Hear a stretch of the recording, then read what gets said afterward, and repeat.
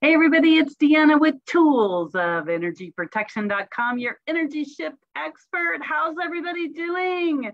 I hope that you're having a great and wonderful evening from July the 5th, 2022. And earlier today, I came on and I shared a few things, and I told you I would be back to share a few more things.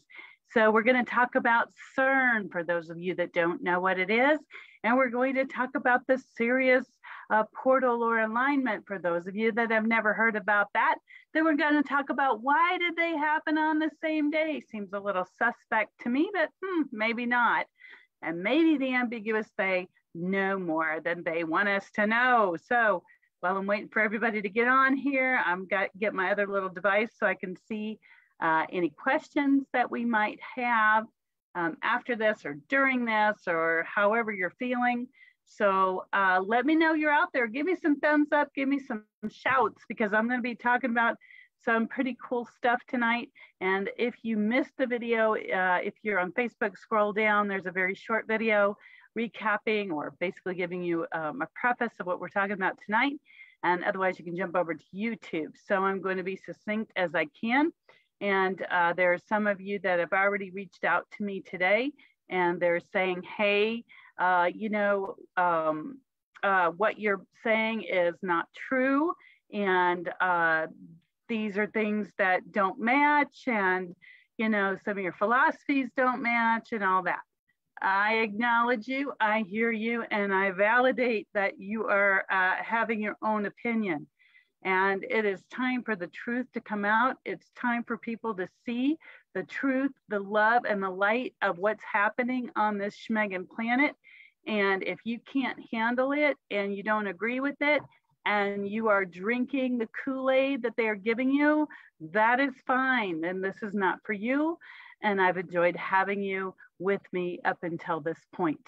So uh, we will see you later when you start to see more of what's happening on this planet. Meanwhile, we got a things to get on to. Okay, so here it is. Um, I am happy to have tonight Chrissy. Looks like Carolyn is joining us. And here's what we're going to talk about. Uh, again, we're going to talk about something called CERN and something called the Sirius Portal. And I, like I said, I did a video earlier today, and we're going to talk about how that's affecting us as humans on this planet. Is it affecting us as humans on this planet and what does that mean? All right, here we go. So for those of you that don't know, there is a, a planet, if you will, called Sirius, which or Cirrus, which I think is quite, you know, a human, humorous name. And it is aligned, if you will, with the sun. It is bigger than the sun, uh, but it's aligned with the sun, and it's it's so that the Earth and Sirius and the sun are in alignment with each other. And you can go look that up and you can see it out in the sky. It's absolutely beautiful. And when that happens, there's a lot of ancient stories you can read that are fascinating about what the ancients thought that it meant.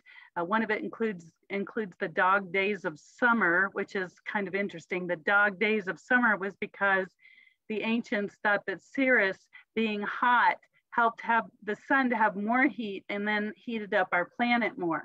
But as we know, that's not really the case.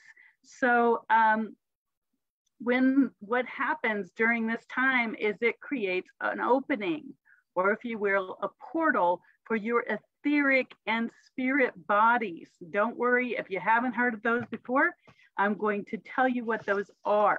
And so I'm combining the spiritual understanding I have the physics of what's going on in this world and what I see happening and what my guides are telling me. So I'm bringing this all together. If you have a question or a comment, or you think I'm full of hooey, put it in the comments here down below on Facebook, or if you prefer on YouTube, if you're seeing this on my blog at toolsofenergyprotection.com, there's a place for comments down there as well, or you can flip over to one of the other channels. All right.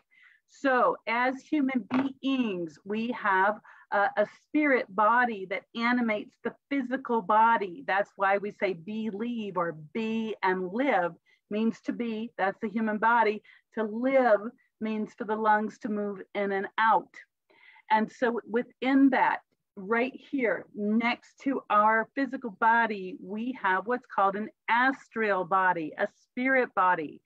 And then a little bit further out, and just because we only have so much room here on this particular platform, um, you come out a little bit further and you have what's called a second astral body. And then you have a third one. Uh, sorry, a oh my goodness, I've had such a long day. Woo! Okay, people are already, Wait, wait, wait. No, no, no. Okay, so I'm sorry. Your third astral body is here near your human face. Your second astral body is here, and the third astral body is there. Please forgive me. Like I said, I've got tons of notes and papers down here trying to fit it all in so we don't lose anybody. So what does that mean? Well, your first astral body, that's like, here's your connection to God's spirit or source or the divine. And you take a step down in frequency, and that becomes your first astral body, your first connection to the divine, how you feel the planets, how you feel the universe, all that. And then the second one comes down and it it translates more from yeah, here's the divine to here's the physical. And what does that mean? And then of course you have your third, which is right around your human body.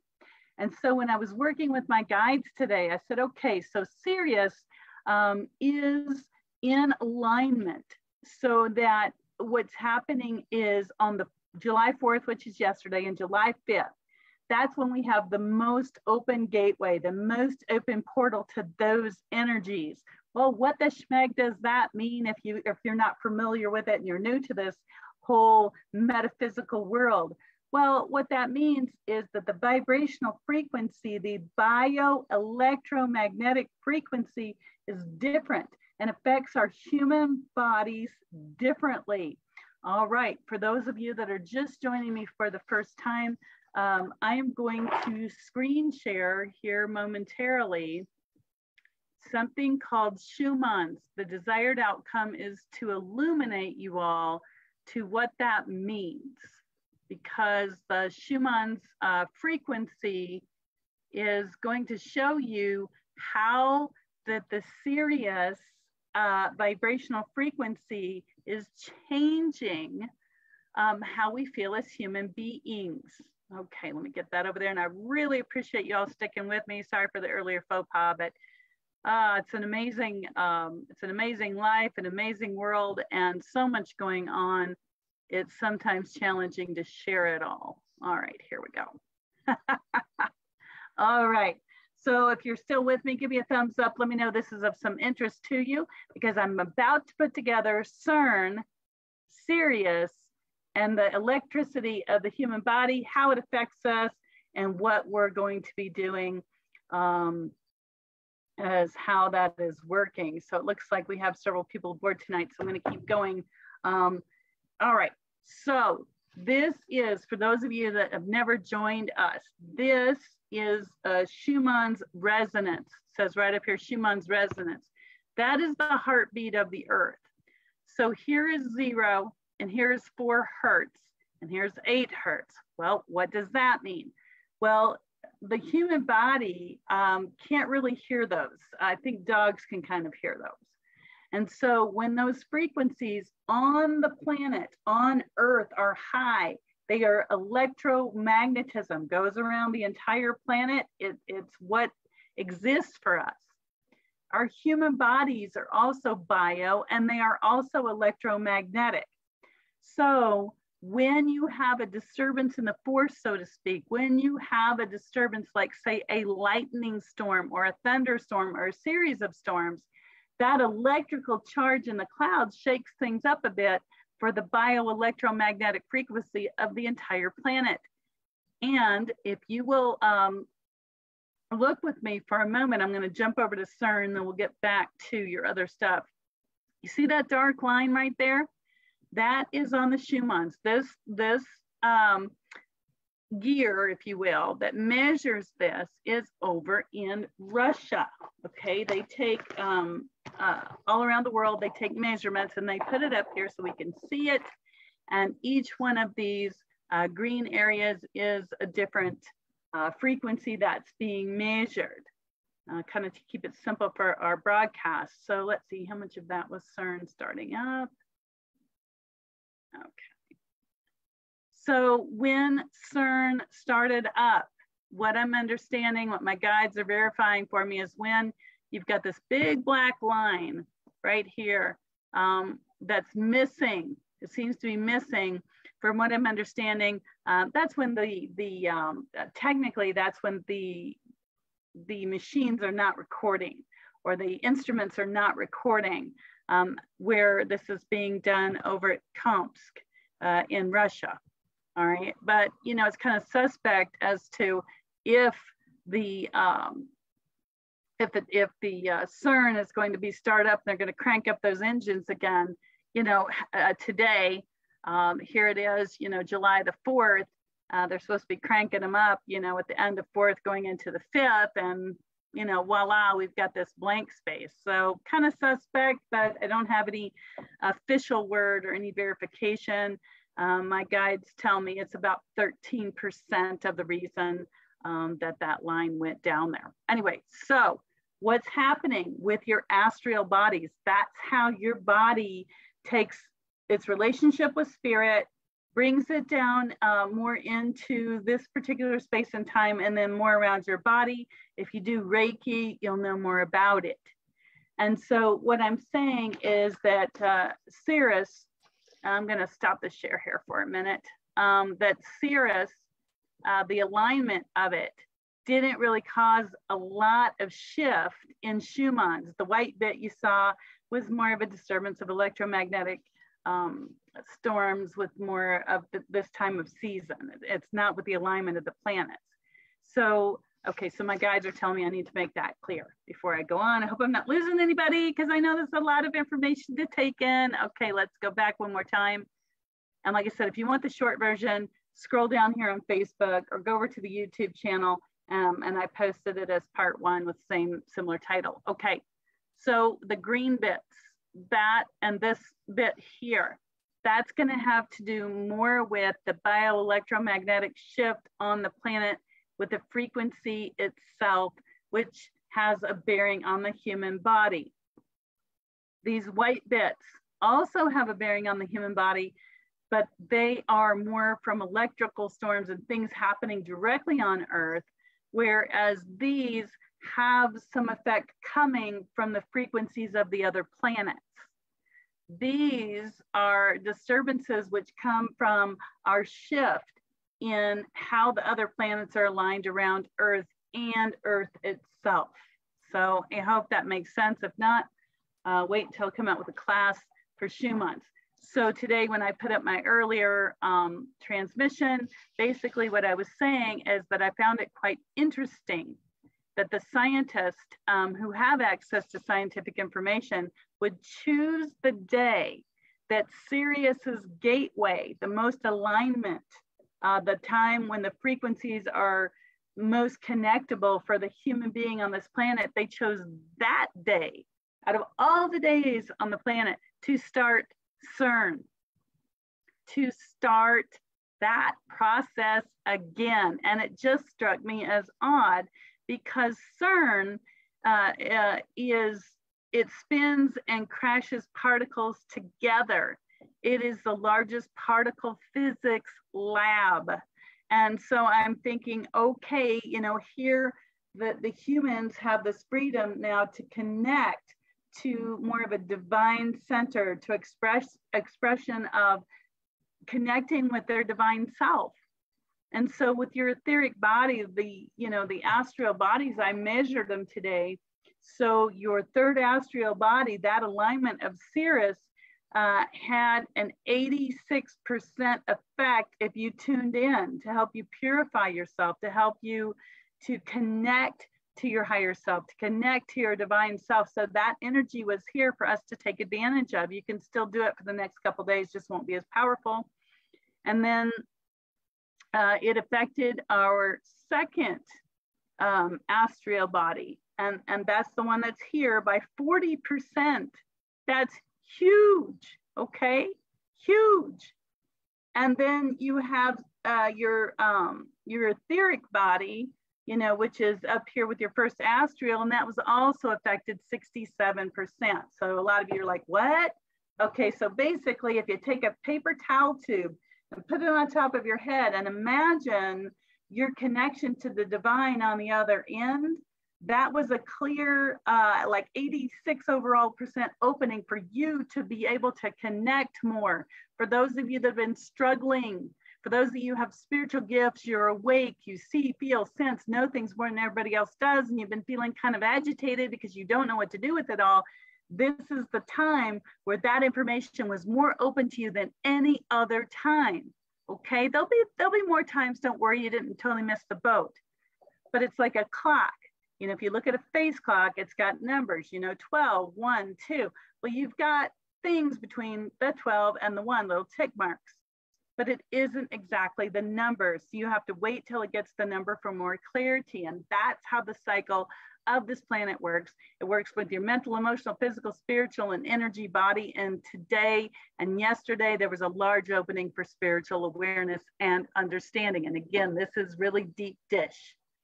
So if you're one of those people that need a little bit of a lighter dish, then then again, go to the video I did earlier today. It's about seven minutes long. I give it to you in a shorter um, uh, increment. But this is the, the deep dish dive. Okay, so uh, CERN, what is CERN? Let's go back and have a look at what CERN is. Again, I will screen share. And I am not by any means saying doom and gloom. Uh, some people were saying they felt like the start of CERN would be the end of the world and it would open a giant, you know, portal to another universe and we'd be invaded by aliens. That's not what I'm saying at all. What I'm talking about is your human frequency and your mind. Your mind is controlled by bioelectromagnetic frequency. You know, why do you think they put high voltage where there's a lot of electric? Because they don't want people's minds to get interfered with. Uh, that's a whole nother subject unto itself. Okay, so let's jump over to share the screen and on toolsofenergyprotection.com, I will put the links to uh, these two websites and um, I'll put them on the bottom of my YouTube video as well. Okay, don't mind all the um, commercials, that has nothing to do with me. All right, five things you need to know about the Large uh, Hadron Collider. Um, uh, it's a CERN is the Large Hadron Collider gears up to work at a previously unprecedented energy levels. Here are the five things you need to know about the massive and complex machine. So I will, like I said, I will go ahead and put that on both toolsofenergyprotection.com on the blog for 7-5-2022 and also for the, um, the second video on, on um, YouTube. But here you notice it says the large uh, Hadron Collider's magnetic dipole. Okay, it's dealing with magnetics. It's dealing with the polarity of the magnetics. Now, is that going to affect, you know, you can go on and read it. Like I said, I'll post the article. You know, is that going to affect our planet? You know, if they've got it all contained like they show here, what's that going to do to you? Okay, what's that going to do to your human body? How's that going to affect the frequency of the planet? Well, if they've got it all contained, you know, scientifically speaking, then, you know, there's not going to be an issue. Okay. Scientifically speaking, it'll be contained and, and they've got all these, you know, different things to, to keep it that way. But the result is, is they are looking for different ways, my understanding, um, to deal with particles and perhaps even open up some kind of a portal, if you will, to another dimension or another frequency. So they're playing with bioelectromagnetism, which is what we are. So maybe not today it's going to affect us, but what happens if they find out they can manipulate bioelectromagnetic frequency in a particular way that it affects human bodies? Maybe it you know, will have an effect on how we're worked with. I don't know. But what I do know is that my guides told me that what they're doing with this electromagnetic frequency is um, 49% of the information that they're finding, they're not sharing with us. I know that's no big surprise, but there is an alignment between what they're finding and how it affects the human mind. And so I just thought it was interesting. Uh, guys were telling me that the shift in the planet's frequency with this machine starting contained or not will shift us about 18%, which isn't much. But again, having it line up on the same day as the two, only the only two main days were aligned to Sirius or Sirius. So, you know, my question is, did they do this because they knew that the frequency of those planets were coming and that somehow gave them more momentum?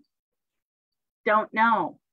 But what I do know is anytime that you see something major happening on the scientific world, especially when it has to do with quantum reality and it has to do with physics, be suspect or suspicious. Really eyeball what they're doing because they understand the alignment of the planets, they understand the bioelectromagnetism of this planet, how it works when it aligns. They have all that intelligence. So they're going to find the greatest time when all that frequency can be there for them to do whatever they're doing, which is way beyond my pay grade. So that's what I wanted to do was to, to share that with you. So this really, to me, smacks of a while back when we all of a sudden had 5G popping up. Do you remember that? And they're telling us, oh, everybody's going to have you know, better cell phones and more clarity. It's going to be faster. And we've got this 5G network. Well, that happened to me about the same time that the frequency um, was was opening up more to this planet. We live in the third dimension. There's a fourth dimension where we connect to our divine selves. And there's a fifth dimension where higher dimensional frequency beings actually exist. And they help us and for the first time, that was open so people that are aware of that more ascended connect at that level. And it was interesting to me because the 5G came out about that same time. And I found out from some sources that it was not ready to be announced because it wasn't fully functional. It was just getting started. So there seemed to be a race to announce it before it was ready that would line up with the ascension of our planet with the fifth dimensional frequency being open to us. What does that mean? Third dimension is your human body. Fourth dimension is that connection between the human body and the divine. And that fifth dimensional frequency is more of a divine connection that allows us to ascend, to be more aware, awake, alert to see the truth, the love, and the light and have less fear.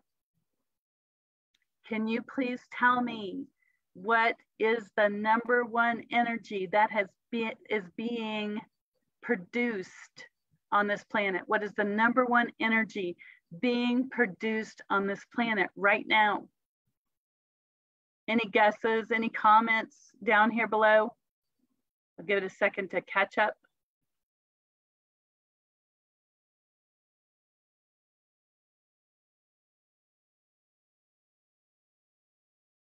Okay, nobody has a comment.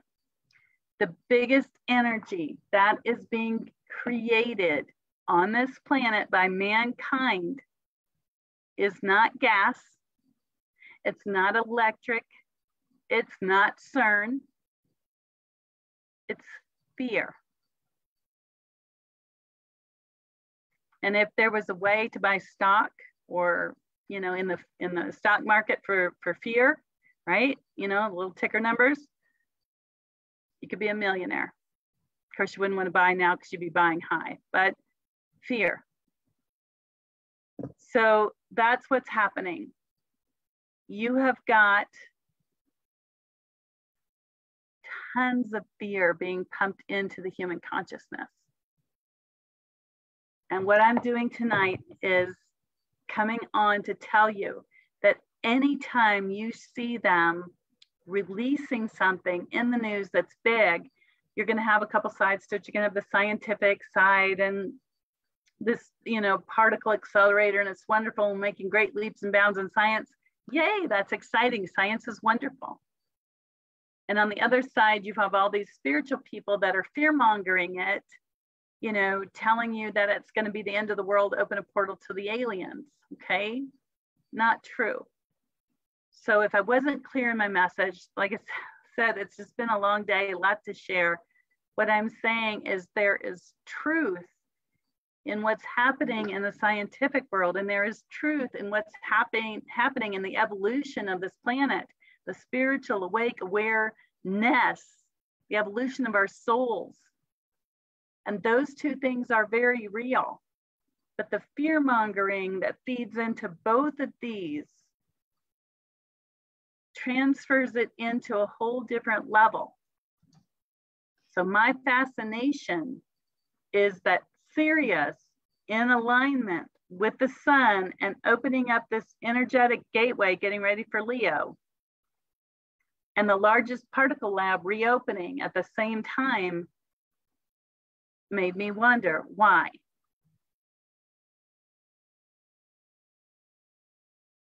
What's the correlation? Because the ambiguous they know the same things that we do, and they're going to use them to their advantage. So who knows?